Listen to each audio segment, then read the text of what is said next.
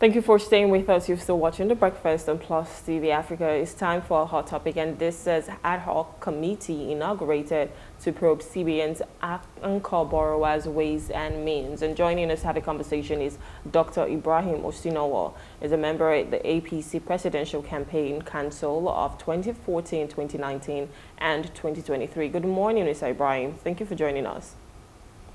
Good morning, my sister. Nice to see you guys again. Good morning, sir. Welcome to the program. Okay, so we're talking about an ad hoc committee um, being inaugurated. First, um, Nigeria's debt profile is a lot. It has risen and it keeps rising every year, year in, year out, right?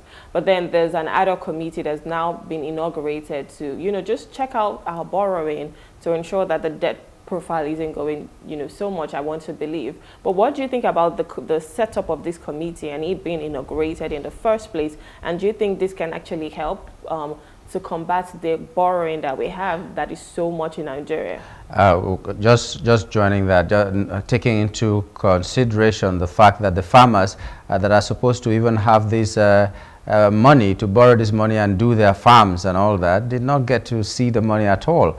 Uh, but we still keep getting the money that we are saying we are giving to the farmers and it's not getting to them. So would like your comment on it. Okay. Um, uh, debt management system in governance is not actually a big deal. You know, borrowing is allowed in any government, you know, in any, you know, uh, democratic or even leadership setting. Um, what I realized that um, is going on in Nigeria is that we uh, always want to put blame on the present, you know, leadership of the country. However, governance is continuous.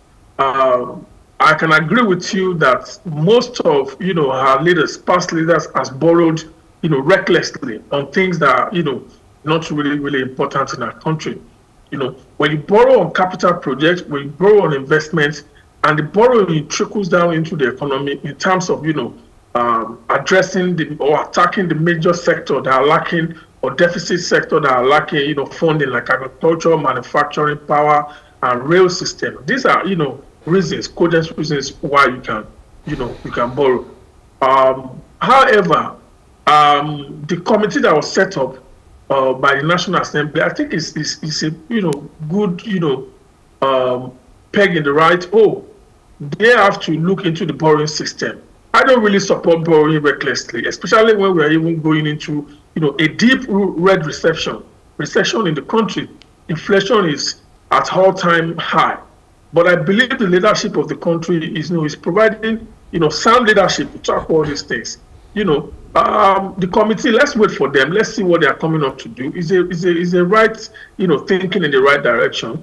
Mm, just to monitor what they are doing and ensure that, you know, uh, uh, any borrowing request from executive is, is thoroughly scrutinized. They have to check it. They have to look inward. They have to, you know, plan, you know, towards the future of this country. We're almost going to. We have a budget of 28 trillion in our hands. Are we borrowing? A, are we borrowing to fund the budget again? Um, I read in the newspaper yesterday that you know the federal government has accrued almost 100 billion from MDAs and ministries. You know, these are things that will support the budget, that will lower the, you know, the borrowing part of the government. But generally speaking, you know, the Ministry of Agri needs to look inward. How are the farmers receiving this, the um, support from federal government? Are farmers' equipment being subsidized? You know, what are the security measures the government is providing for farmers in a rural community, like the Northeast, the Northwest, the North Central? You know, we can't be hungry in this in this country. We have fertile land. You know, we have one of the best soil in the world. We can grow anything from Benue to Niger, from Niger to Jos. Jos particularly has one of the best soil that can produce massive different foreign fruits in this country that will earn us even foreign currency. So we need to protect the farmers. We need to ensure that those farmers receive any budgeting uh, funds that they have, uh, that the government have for them. We need to develop, you know, direct strategy on how to mobilize and support these farmers. So I believe the government will come out, especially the Minister of Agriculture, uh, Senator Kyari, is going to come out one of the fantastic, you know, module of, you know, funding these um, um, rural farmer dwellers. So I believe the government will do one of the best, you know, uh, uh, uh, funding process to ensure that those funds gets into the right hand and in the rural community for them to grow food for Nigeria. A lot is going on in the country. I agree with you. People are hungry. Things are expensive. But I believe that the leadership is working tirelessly, you know, to ensure that those farmers have funds to produce more crops for us, more food for us, you know, to feed in the country. So concerning the um, the committee, uh, yes, it's a good it's a good one. Let's see what they're going to come out with. Let's see their you know their uh, uh, committee strategy. Let's see what they are going to you know come up with in terms of recommendation, you know, inquiries and other things that you know going on in, in you know in the funding portfolio of the country, in the borrowing portfolio of the country. If you were to advise, what would you tell them? Because Anchor Borrowers' program was supposed to make the farmers have money to plant. By now, we should have been uh, in abundance of food, but we, we didn't get to see this money get to them and all that. That's why there is this probe. Uh, some of them, sometimes they said that the farmers themselves borrowed the money and did not return, or all kinds of things. But eh, the bulk of the farmers didn't see this money sub, uh, sub, subsidy that you were talking that maybe the, if they subsidized and all that, a lot of farmers didn't see at all, especially in the south. I don't know about it in the north, but I, especially in the south, they didn't see at all. So if you were to recommend uh, one of the things, at least, that will make this program a success in future because I'm not I'm not hoping that they are going to stop a program. Maybe the name will change, mm. the dynamics will change and all that. But what will you recommend that they do so that it would be a success?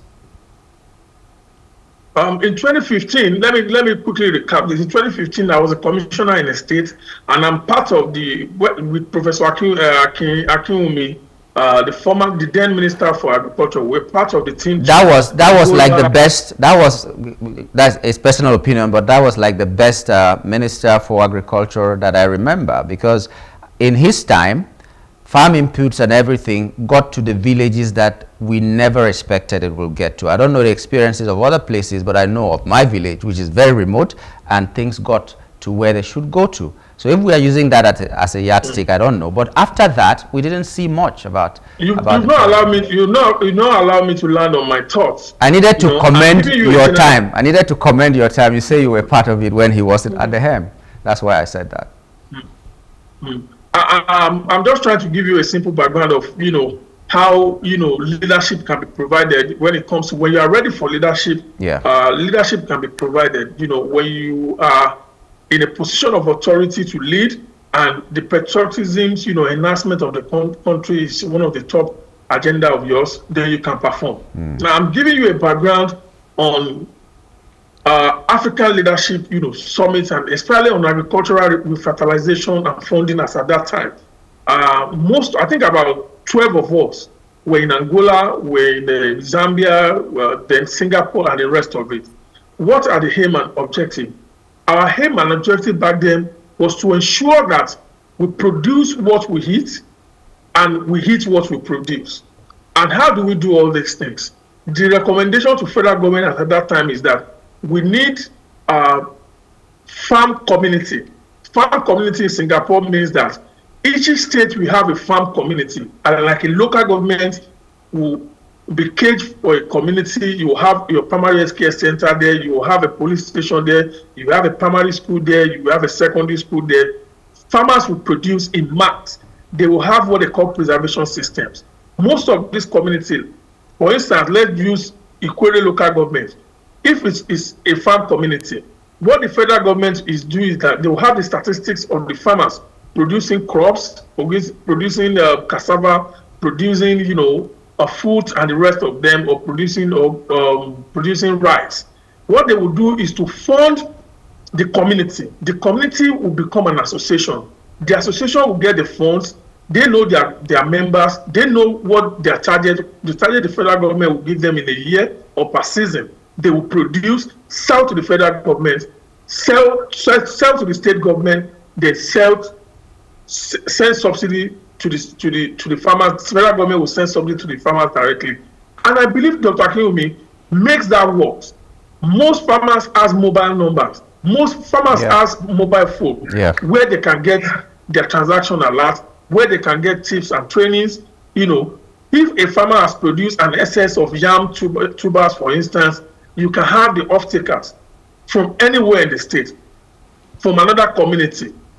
And as at that time, you realize that a lot of people are shipping uh, yams, yam tubers outside the country. Mm. A lot of cassavas were, you know, being produced locally, and farmers are happy.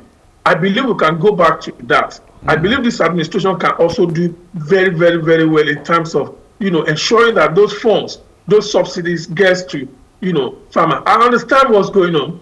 The last administration tried its best, but the best is not enough in terms of, you know, supporting, you know, agricultural and agro business in this country.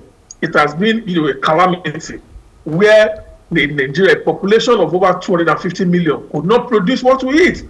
So I believe the government has a lot of things to do in agricultural sector.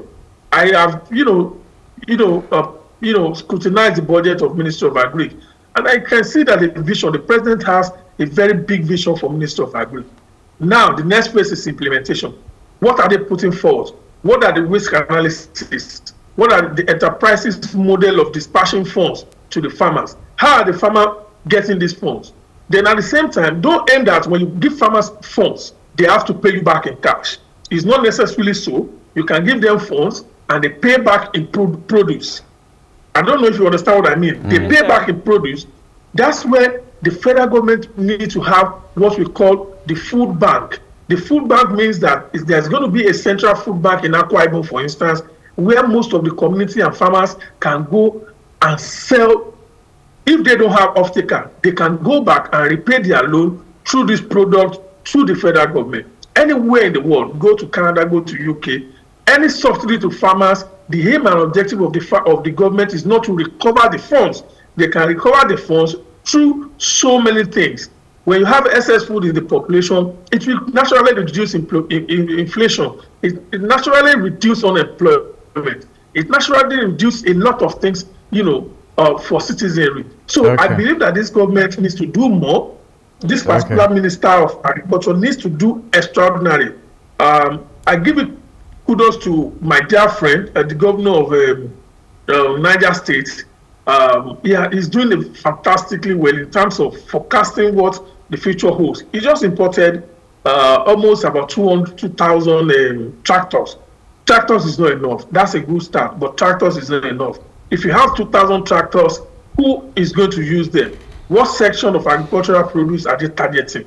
What is the land, you know, uh, max community are you building? Who is going to fund these farmers? When you fund them, how do you monitor them? What are the risk implications of this, you know, farming process? The equipment, what are the management and maintenance process are you, you know, giving out to them? Yes, John Deere is doing fantastically well. But Nigerians always carried away with all this uh, John Deere, John Deere. When you go to Ghana, for instance, John Deere has not performed credibly well. Most of their products, they don't have a good maintenance. So I will advise Nigerian government to have various chains of, you know, agricultural, you know, mechanized agricultural manufacturers mm. who produce so many equipment, like harvesters, like a grillers, like a preservation machines, and the rest of this. When you produce tomato, you have to preserve them. When you produce, you know, um, uh, yeah. Okay. All right. it's yes. And ensure that Hello, sir. the anchor is not a bad idea. I want to mm. say emphatically. Yeah. Okay, thank you. It's it's good that uh, we can put a face. It's good that we can put a face to one of the people who made it happen because I've always said it that in the time of our, our Kiwumi Adesina, uh, things really worked well. I hope that uh, the government will go to that template and even yes. make it better now. But uh, mm -hmm. unfortunately, we've run out of time. We'd like to thank you thank for you. being a part of the program today. Yeah. Mm. You're always welcome. Thank, thank you, so much. much. Nice to see you guys. Yeah. Yes.